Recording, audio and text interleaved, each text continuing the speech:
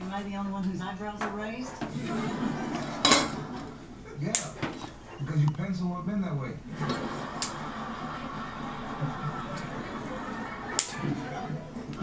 Sorry, Super Ball.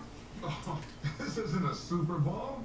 Yes, it is. It's called a dynamo. But it's the same thing. Oh, it's not the same thing. Real Super Balls were created under 50,000 pounds of pressure. Super Balls bounced higher than any other ball ever made. A kid in St. Louis bounced one, and a kid in Chicago lost an eye. That's how great they were. I bounced one across the Nile. Where's the Nile? It's in Egypt. That's where Hosni's from.